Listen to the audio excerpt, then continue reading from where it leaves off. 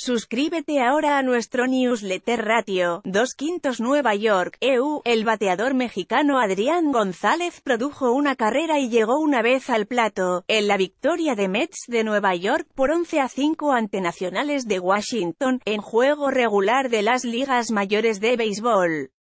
En su primera oportunidad con el tolete, que fue en la segunda entrada, el tricolor pegó un rodado al primera base Ran Zimmerman para out y en el cuarto episodio conectó sencillo con una línea al jardín derecho, para enviar a Asdrubal Cabrera a la registradora. En el octavo capítulo Mets concretó un ramillete de nueve carreras y en ese capítulo, el mexicano recibió una base por bolas intencional y llegó al plato mediante doblete de Juan Lagares.